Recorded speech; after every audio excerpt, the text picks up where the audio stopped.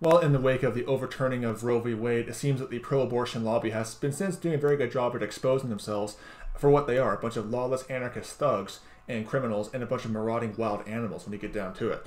You know, their behavior has just shown that they're just a bunch of marauding savages who can't stand when they lose, and they show their true colors when they lose. It's funny how they're called, they call themselves, you know, it's funny how the Democratic Party fancies themselves as the party of love and tolerance. Meanwhile, this is the kind of stuff they resort to when they lose. Okay, I'm gonna read this in the article because this is what the, what I'm gonna read in this article is the kind of stuff these these marauding animals resort to. That simple. They act like they're they're basically running around like a bunch of wild animals because they've lost. You know. Anyway, this is what the article says: Antifa attack and pepper spray pro-life woman in Seattle. This is on the Post Millennial. Well, this is the kind of stuff. This is the kind of stuff that the love wins side. You know, oh, we lo- we love wins. You know, they lecture us about loving and tolerance. Meanwhile, they resort to this kind of stuff. Bunch of uh, savages is what they are. Savages. Uh, anyway, I'm gonna read the article.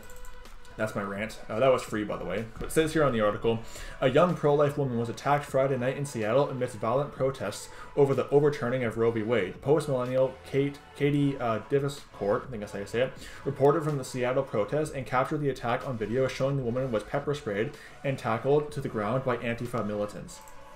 But remember, these are the guys who are on the side of love and tolerance. They're beating you up and firebombing and burning down your business and attacking you and beating you up and, and assaulting you in the name of love and tolerance. Just keep that in mind. Bunch of, of wild animals. Okay. It says here the woman was joined by another pro-life advocate who had who had and the two had been carrying signs that read "Your body, your responsibility" and "Life wins." The attack comes as the Seattle protests escalated into violence. Earlier this evening, Daviscourt reported that thousands were gathered outside Seattle's federal building. Prior to the pepper spray attack, a militant protester can be seen trying to deploy pepper spray uh, on, on some pro-life counter-protester, but the spray misfired. You know, well, that's just the kind of nature they have. They're a bunch of, of they have a lawless nature, really. It says uh, the Antifa group broke windows of the nearby buildings, and adjoining protest groups began to coincide, coinc- uh, co- co- sorry, with the main protest group downtown. Uh, the woman in question was approached by the post millennials Kate Daviscourt prior to the attack. Daviscourt asked uh, about what she thought about the overturning of Roe v. Wade. When the woman responded, "I think it should be up to the states." And that's the thing too about this whole thing. It, it wasn't really you know, it was yeah, it was about abortion, but really it was about limiting federal power because all the all the it simply did. Because see, overturning Roe v. Wade does not ban abortion. It just it's a states' rights issue. It's simply just giving states the right to decide. If anything, it's actually the most you know American thing you can do, giving states the right to choose. It's limiting federal power. See, these Democrats who say, "Oh, we need to codify Roe v. Wade," they're the ones who are really being un-American because they're they're going against states' rights and letting states decide for themselves, and limiting federal power.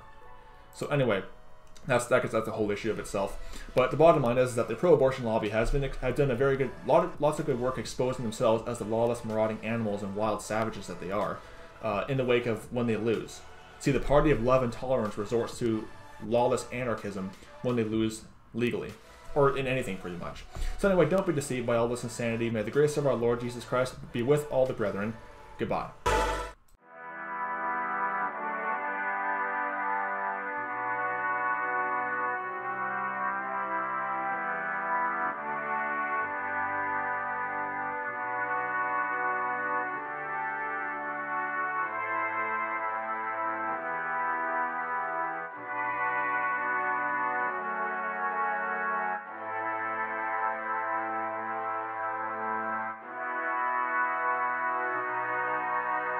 Bye.